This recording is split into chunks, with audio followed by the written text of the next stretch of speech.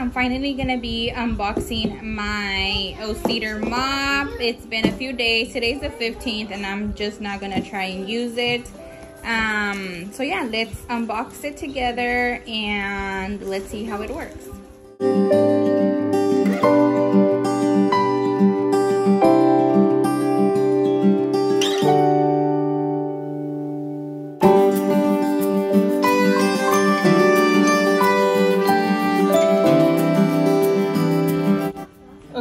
Just opened this, which is the head to the mop, and it just looks like this.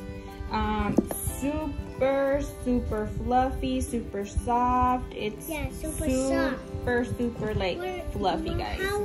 So let's see how this works. The other one isn't as fluffy as this one, and also the other one is just white, and this one has blue. So let's see how it works. I'm gonna fill it up, and I'm probably gonna be using Fabuloso since Yeah, I don't have Tide or none of that. But here is where you pour the water, and this is the lever where you um, let it up and down to um, let the water in, the clean water. Okay, who cleans with music? Because I do.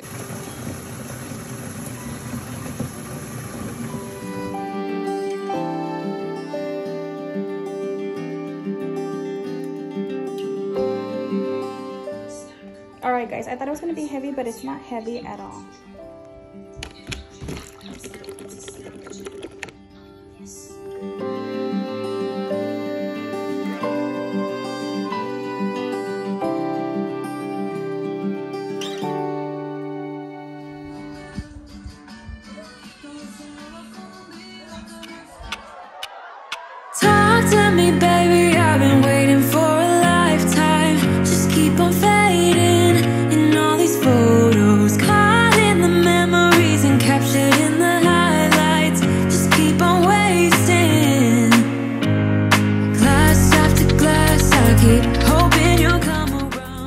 Around. All right, guys, what do you guys think just by watching the video? I love it just like the first one.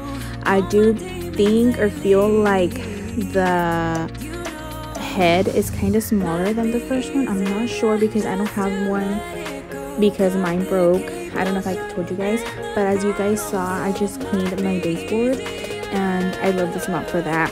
I love cleaning the walls. I love mopping with it and I just I'm I'm so happy that I went with this one because I just love that it um, has a separate tank for the dirty water.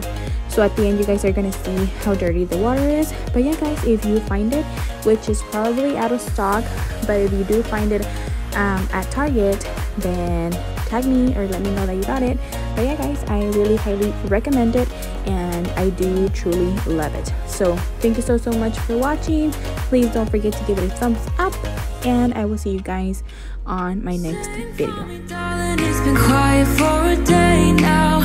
Can't bear the silence inside my own head. I keep on hoping somehow we can make this alright. Just keep on trying.